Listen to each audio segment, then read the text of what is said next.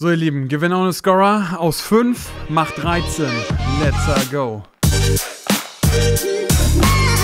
Bekessem, euer Liga-Insider. Gewinner ohne Scorer bisher, das waren immer 5 Stück, 3 auf dem Thumbnail. Das war eigentlich immer zu klar, deswegen dachte ich, komm, wir schmeißen mal die Gewinner ohne Scorer in die Pyramide und schauen mal, was passiert. Und wenn ihr das feiert, lasst gerne Liebe da, macht hier gerne ein bisschen Alarm, da freue ich mich immer. Und damit würde ich sagen, gehen wir rein in die Gewinner. So, und da muss ich ja auch hier ein bisschen was erklären. Ich habe das natürlich hier wieder eingeteilt in so Tiers und äh, genau, wir fangen hier unten an. Unten seht ihr schon Scouting-Bericht. Die Jungs sollte man hier auf dem Zettel haben. Wir haben Ersatz-In wie Check-In. Die äh, Jungs kommen jetzt rein durch Ausfall. Wir haben den Programmspieler, der gefällt mir hier am besten hier, schon mit der Fernbedienung. Der bekommt das beste Programm in den nächsten Wochen und wir haben den Star der Woche. Da bin ich auch ganz gespannt. So. Und damit starten wir rein. Scouting-Bericht. Der erste Spieler, das ist Kaishu Sano. Und im Teamcheck, da hatten wir den schon als einen der zweikampfstärksten Jungs aus der J-League. Und das zeigt er auch gegen Gladbach. Führt 17 Bodenzweikämpfe und gewinnt 65% davon. Das ist ein Wahnsinns-Stat. Und auch die Luftkämpfe stark da mit 50%. Bei einer kleinen Körpergröße, der Junge ist nämlich eigentlich nur 1,76, also schraubt sich da richtig hoch und äh, schraubt sich auch hier schön rein. Äh, Tacklings auch richtig stark da, 4 von 6 und ja, ganz fleißig. Auch da alle Aktionen, die, die zum Ball gingen, auch die waren super gut abgefangene Bälle, Balleroberung, richtig guter Mann hier. Die ganze Note hat er hier auch drin, 2,5 wird immer mehr der neue Barrero. So, und wir bleiben mal im Freitagsspiel, wechseln aber das Team und äh, gehen hier mal zu Julian Weigel. Der hatte wirklich Top-Werte, auch da im Boden- und Luftzweikampf richtig, richtig gut. Und er wird jetzt immer zu diesem Führungsspieler, den sie auch alle sehen wollen in Gladbach. Und das ist gar nicht so leicht, weil vor ihm wird gerade viel auch verändert, da mit Plea Stöger. Das heißt, da muss er auch immer nochmal den, den Passweg wieder neu einschätzen und den äh, Laufweg wieder neu kalkulieren. Und deswegen gefällt er mir gerade umso besser, besonders auch statistisch. Und er ist im Scouting-Bericht hier auch angekommen mit der Liga-Insider Note 2,5. So, weiter mit Amos Pieper. Und Liga-Insider-Artikel, da habe ich schon gelesen, als linker Innenverteidiger. Pieper überzeugt Coach Werner, und da haben wir hier noch einen O-Ton mitgebracht. Er ist schlau und hat keine Probleme damit, auch mal auf der anderen Seite zu spielen. Ja, das ist starke Fuß, ist ja der rechte beim Amos. Aber gegen Leverkusen, da hat er auch mal ja, gezeigt, dass auf der linken Seite auch gut geht. Wahnsinn. Da auch in der Statistik super viele Points da auch reingeholt. Auch da Chapeau an alle, die an den geglaubt haben. Richtig, richtig cool. Und über Anthony Young, über den redet in Bremen aktuell keiner. Der kam dann irgendwann später in der 82. Minute mal rein. Und äh, den lässt den Jungen, lässt er gerade alt aussehen, Bruh. wenn man das so sagen möchte. Der schnellere, agilere Mann hier kommt ja auch hier ein bisschen auch aus Bielefeld. Der hat den Sprung wirklich richtig geschafft und die haben mit dem Punktgewinn auch einen richtigen Sprung da geschafft. Richtig stark gemacht. Die ganze Zeit der Note 3,5 und der ist gar nicht mehr wegzudenken, gerade aus der Startelf. So, weiter geht's äh, mit Kevin Campbell und der hätte vielleicht auch ein Regal höher gepasst, denn er ist ein Rückkehrer, äh, wieder genesen. Aber da gibt es halt keinen Ausfall, deswegen äh, passt das hier auch ganz gut wieder genesen von einer Muskelverletzung im Adduktorenbereich. Im Mainz-Spiel, da gab es schon wieder die ersten Minuten, hat er knapp 40 abgeknipst und jetzt für Vermehren gestartet gegen Freiburg und auch da einen hohen Aktionsradius, gerade halb links und linke Seite, da auch schön im Zusammenspiel mit Benny Henrichs hat er mir sehr gut gefallen in der Kombination.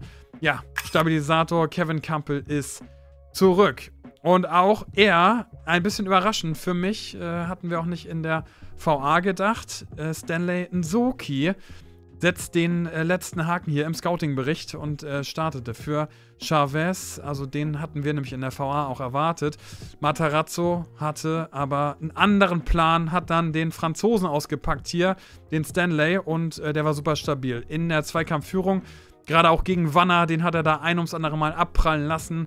Und äh, richtig cool gemacht da. Gesetzt jetzt erstmal mit der Liganzeiger Note 3,0 vollendet hier unseren Scouting-Bericht. Und damit gehen wir weiter in Ersatz in. Und äh, die mache ich hier mal ganz fix. Wir haben mal hier Chase, Überraschungsstart für mich. Wir hatten ihn auch in der VA, dachten aber eher, dass er rechts für Wagner Mann eventuell reinkommt. Da hatte aber, ja, Hoeneß äh, hat das anders gemacht und äh, kam dann innen rein für Roh. Das ist ja auch eher seine angestammte Position. Hoeneß setzt hier auf Frische, äh, rotiert hier mal munter durch. Äh, Roh kam dann erst im Laufe des Spiels rein. Und warum Chase jetzt starten könnte, auch im nächsten Spiel, das ist ganz einfach erklärt. Denn Chabot hat sich eine gelb-rote Karte erlaubt. Ja, das äh, war da bei Robert Hartmann. Da gab es nämlich einen Stare-Down von äh, Chabot und äh, ja, da war Hartmann ganz konsequent und er hat den Highspawn mal einkassiert hier mit Gelb-Rot. Einfach da wegbleiben. Das wird auch so ein Stare-Down bestraft in der NBA, deswegen kann ich das sehr gut nachvollziehen und deswegen Chabot raus und äh, Chase in. Wir gehen mal weiter hier zum äh, Keeper Peter Gulaschi. Sprunggelenksprobleme. Wollte eigentlich nochmal rausgehen, aber hat dann zu Marco Rose gesagt, Junge, das geht nicht mehr. Und ähm, ja, blieb dann in der Kabine. Martin von der Ford ist dann für ihn gestartet. Kein Gegentor, das können wir ihm direkt mal hier akkreditieren. Und äh, wir müssen hier direkt nochmal die Woche abwarten. Im Pokal wäre Martin so oder so gestartet. Das haben wir schon gehört, gemäß heutiger PK von Rose. Gruß an unseren Redakteur Robin, der hat das hier direkt für mich rausgefischt.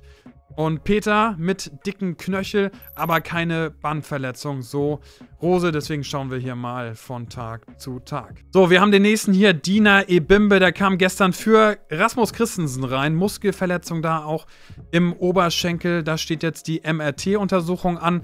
Da hoffen wir mal, wie auch bei den ganzen anderen Verletzten hier, ähm, die besten Genesungswünsche und hoffen da auf keine lange Ausfallzeit. Wir sehen jetzt aber erstmal Ebimbe. Der äh, rutscht da gestern ins Spiel dann für Christensen und vielleicht dann auch auf die Schiene, auch am Wochenende. Das könnte gut sein. Ebimbe, auch ein interessanter Mann, äh, gerade wenn wir uns auch das nächste Spiel angucken. Da geht es nämlich zu Hause gegen Bochum. So, und unser letzter Mann hier aus der Ersatzinnenkette. Ja, Bitter auch die Negativnachricht am Freitag. Burkhardt fällt da aus, muss da schon früh runter und ähm, auch da natürlich die Genesungswünsche. Ja, Muskelverletzung über Oberschenkel, haben wir eben schon gehört. Das schrieb mir hier auch Bennett. Gab da jetzt so leichte Entwarnung, da gibt es jetzt immer mal ein Update und äh, ein bis zwei Wochen. So hofft man intern. Könnte aber natürlich auch länger ausfallen. Für ihn kam auf jeden Fall rein. Amindo Sieb, den haben wir hier gescoutet und der sollte auch am Wochenende starten in Freiburg. So, dann gibt es jetzt hier die Fernbedienung. Also, die liebe ich jetzt schon hier, die äh, unseren Programmreihe hier unter dem Star der Woche. Und wir starten mal mit äh, Tom Bischoff. Der war hier schon mal im äh, Gewinner ohne Scorer-Ranking. Letzte Woche ja mit Scorer auf Bülter, deswegen konnte ich den hier nicht reinnehmen. Und jetzt wieder das absolute Monster-Game gestern abgerissen. Hoffenheims bester Mann aktuell mit 19, liebe Leute. Mit 19, ne?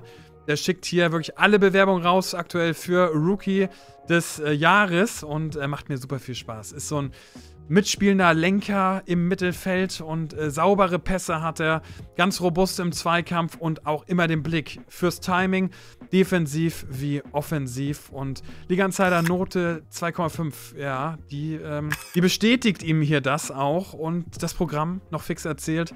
St. Pauli zu Hause und dann geht's nach Augsburg. Also Tom Rowland habe ich hier. So, mein nächster Programmmann, das ist Patrick Meinker. Auch er zauberte gestern die LI-Note 2,5 raus. Ja, kommt wieder so richtig in seinen Heidenheimer Gameflow aus dem letzten Jahr auch. Und super Werte da auch statistisch. Richtiges Allround-Game äh, im Heidenheim-Dress abgeliefert gestern. 87% Pässe, Bodenkampf 88% sogar und Luft auch 2 von 3. Dazu noch vier geklärte Bälle und ein Block on top. Den hat er auch noch drin gehabt. Also absoluter Aktivschrank hier. Gefiel mir richtig gut. Und äh, ist ja mein Man in the Middle auf Programmspieler. Und die bekommen jetzt Kiel und Wölfe. Also auch hier ein gutes Programm. Und genau äh, dahin gehe ich nämlich für meinen Nebenmann, die griechische Krake. Ja, Konstantinos Kuliarakis. Das Ungeheuer, das äh, hat sich blicken lassen bei mir hier am Millantor und äh, hat das richtig stark gemacht. Neue Kombi da mit äh, Wavro, die sich da jetzt immer mehr eingroovt. Ähm, gefällt mir da auch richtig gut. Und in den Daten haben wir da auch schon Brief und Siegel drauf gepackt für äh, Weltklasse-Statistik. Besonders die sieben Erklärungen, die sind mir in Erinnerung geblieben und auch die drei Blocks, ähm, auch da richtig gut gemacht. 80% in der Luft beim griechischen Kollegen. Janis äh, aus der NBA abgeguckt. Absoluter NBA-Style hier. Sehr, sehr geil. Und die Wölfe, für die geht es jetzt äh, gegen Augsburg und dann eben in Heidenheim. Also coole Wochen auch für ihn. So, und dann der Star der Woche. Für mich gibt es hier einen fetten Stern für Big Mitch. Also Köln echt stark ausgebildet da in der Jugend. Äh, auch da Flo Wertz. Und äh, gegen den ging es nämlich am Wochenende. Und Mitch für mich, ja, der Star des Spiels. Äh, kreierte Großchancen hat er drin. Die Torschussvorlagen hat er drin. Absoluter Aktivposten, gerade auch im Umschaltspiel hat er mir sehr gut gefallen da. Ähm, für Bremen und. Ähm, ja, den ging es ja immer zu suchen und ähm, gefällt mir da gerade richtig gut, auch in der Kombi, da auch mit Duxch, die absoluten Gamechanger des Teams und deswegen Wieselweiser für mich der Star der Woche. So, für die Leute, die auch schon die Pyramide mit Guido kennen, da picken wir mal noch am Ende den Mann der Reihe. Und das würde ich hier auch noch ganz fix machen. Scouting-Bericht, da nehme ich mal Kevin Campbell. Daran brauche ich hier den Top-Player-Profile. Dann nochmal eins höher, Ersatz in. Dann nehme ich äh, Dina Ebimbe, glaube ich auch gerade mit dem Matchup gegen Bochum. Das könnte auch richtig cool werden.